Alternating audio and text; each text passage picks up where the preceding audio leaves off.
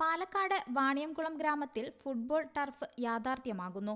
സംസ്ഥാന സർക്കാരിന്റെ നാല് ദശാംശം മൂന്ന് രണ്ട് കോടി രൂപ ചിലവിലാണ് പദ്ധതി. ഗ്രാമത്തിന്റെയും കായിക പ്രേമികളുടെയും യുവാക്കളുടെയും സ്വപ്നത്തിന്റെ സാക്ഷാത്കാരമാണ് ആധുനിക സൗകര്യങ്ങളോടെയുള്ള കളിസ്ഥലം.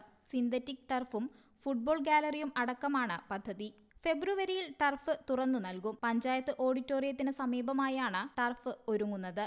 പദ്ധതി പ്രദേശം ജനപ്രതിനിധികൾ സന്ദർശിച്ച് പ്രവർത്തികൾ വിലയിരുത്തി.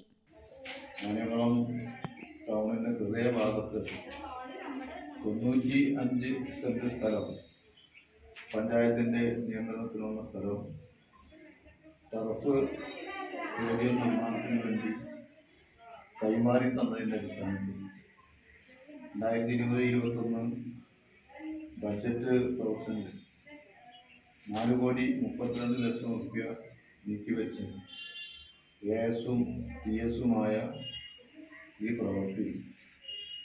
ഒരു വർഷക്കാലമായി അതിന്റെ ടെൻഡർ കഴിഞ്ഞ് അതിന്റെ പ്രവൃത്തി നിശ്ചിതമായി തുടർന്നുകൊണ്ടിരിക്കുക ടെൻഡറിന്റെ കാലാവധി നമ്മൾ അല്പം നീട്ടി കൊടുത്തിട്ടുണ്ട്.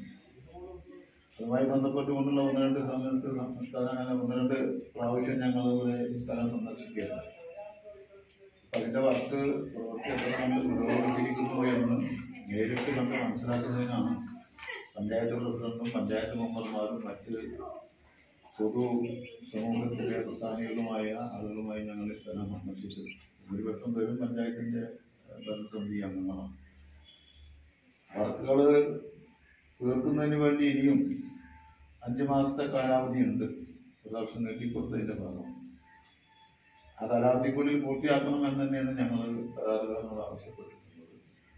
എന്തായാലും ഒരു പത്ത് അമ്പത് അറുപത് ശതമാനത്തോളം പ്രവൃത്തി ആയി കഴിഞ്ഞു എന്നാണ് ബോധ്യപ്പെടുന്നത് ചുറ്റുമതിൽ കെട്ടിയിട്ടും ഗാലറികൾ നിർമ്മിച്ചു കൊണ്ടിരിക്കുകയാണ് അതുമായി ബന്ധപ്പെട്ട് കൊണ്ടുള്ള മറ്റേതിന്റെ ഗ്രീൻ റൂം ഉൾപ്പെടെയുള്ള കെട്ടിടത്തിന്റെ പണിയും കഴിഞ്ഞിട്ടുണ്ട് എന്നാലും ഈ സമയബന്ധിതമായി പൂർത്തിയാക്കാൻ ആവശ്യമായിട്ടുള്ള നിർദ്ദേശം ബന്ധപ്പെട്ട ഡിപ്പാർട്ട്മെന്റ് മുഖേന കരാറുകാരന് നൽകേണ്ടതുണ്ട് എന്നാണ് ഞങ്ങൾക്ക് ബോധ്യമായത്.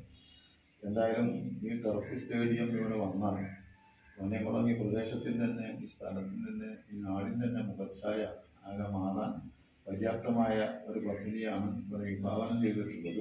നിലവിൽ കായിക മത്സരങ്ങൾക്കും പരിശീലനങ്ങൾക്കും സ്വകാര്യ ടർഫുകളെയാണ് ആശ്രയിക്കുന്നത്. ടർഫ് ഗ്രാമത്തിന്റെ കായിക മേഖലയിൽ പുതിയ ഉണർവാകുമെന്ന പ്രതീക്ഷയിലാണ് Vaniyamkulam. News desk UTalk. Talk